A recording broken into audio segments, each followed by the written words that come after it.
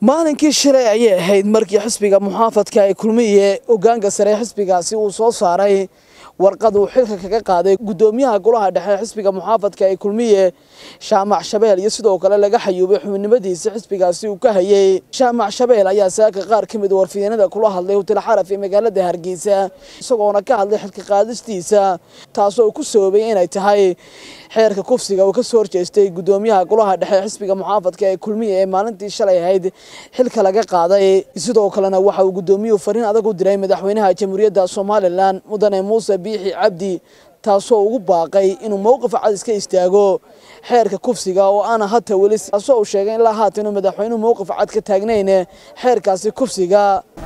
Khilaafka aniga iyo cidda uu la soo kala dhex galay khilaafkan cidda uu la soo kala dhex galay xisbiga maaha waa madaxweynaha jamhuuriyadda somalilan muuse biixi cabdi waana xeerkii kufsiga ee aan ka hadlay. Waxaa ogtiin ilaa maanta ilaa maalintii hore laga hadlay madaxweynuhu mar qura buu caddaynin mowqifkiisa mar qura kabuu hadal xeerka. Xeerka waxaa la faahfaafintiisu ay soo baxday koodii bishii sebtembar ee iminka dhammaatay siduu sharcigu dhigayana soddon cisho ayaa xeerka lagu faafiyaa markay soddonkaa cisho dhammaadaan xeerkaasi dhaqangal buu noqdaa. Taa macneed waxa weye xeerkii kufsiga ee ummaddu ka qaylisay maanta waa dhaqangal. Maanta waa dhaqangal. Inkastoonan garanayn cidda lagu xukumayo haddana maanta waa dhaqangal xeerkaas arbush madow bay waraaqdani ahayd maadaama uu dhaqangal yahay xeerku maanta. Yuu ka hadli bay ahayd macnaheedu waxaa leeyahay xeerka wax kastoo dhacayaba. Xeerka ilaa la waayayo oo saaxadda laga waayayo kama hadhayo madaxweynena waxaa leelu soo jeedinayaa madaxweyne u caddee ummadda mowqifkaaga. Ku dhiiro maxaad u gabanaysaa maxaad marba u soo diray u soo gabanaysaa buul yaroo buul hunguriya mowqifkaaga xeerkani waa xaaraan waa sharci daro dastoorku xadgudub ku yahay diinta islaamku xadgudub ku yahay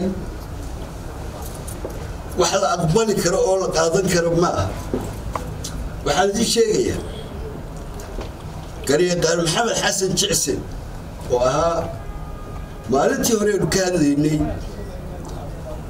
garyaqaankii ka hadlayay xeerkan meelaha laga keenay iyo dadka waday. Telefoon baa loogu soo hanjabay afar nin baa loogu soo hanjabay oo midgaal cad yahay oo hargeysa jooga. Ka bayr baa lagu yidhi arrimahayaga maxaa arrimahayaga geliya haddii kale waad ka shallayn doontaa. Wuu ii sheegay waxaan ku yidhi ha u joojin. Wuxuu samaynaya gaalkiiyo waxa la socda ha sameeyaane. Ha u joojin maalintaasaan fahmay oo gartay loo soo hanjabay gariiqaanka inaan laga hadhin xeerkii inaanay gaala xeerkii ka hadhin la doonayo xeerkii in la fuliyo sidiisa loo fuliyo waxaanu isku haynaa waxaa weeye waa diintii islaamka waa shareecadii islaamka ma aha siyaasad xisbiga dhexdiisaa ma aha dana gaara ma aha wax kale oo naga dhexeeya aniga geesta kale gudoomiyaha golaha dhexe xisbiga muxaafadka ee kulmiye ee maalintii shalay ahayd xilka laga qaaday. Ayaa fariin kale u diray xubnaha golaha dhexe xisbiga muxaafadka ee kulmiye isagoona ugu baaqay inay maalin sabtida isku yimaadaan oo ay ka shiraan xeerkaasi kufsiga. Waxaan halkan ugu baaqayaa xubnaha golaha dhexe xisbiga kulmiye inay maalinta sabtida ee soo socota haddii allah weyne aqbalo. Inay isugu yimaadaan. Xarunta dhexe xisbiga kulmiye ee magaalada hargeysa isugu yimaadaan. Iyagaa awoodda leh waa hay'adda u sarraysa xisbiga. Cid kastoo ku gafta xeerka iyo barnaamijka xisbigana golaha dhexa awood u leh wax ka qabashadeeda sidaa daraaddeed waxaan u celinayaa mar labaad hawl culus baa taalla. Xisbigii la kala dilaa la doonaya la burburiyo xilku idinku idi saaran yahay.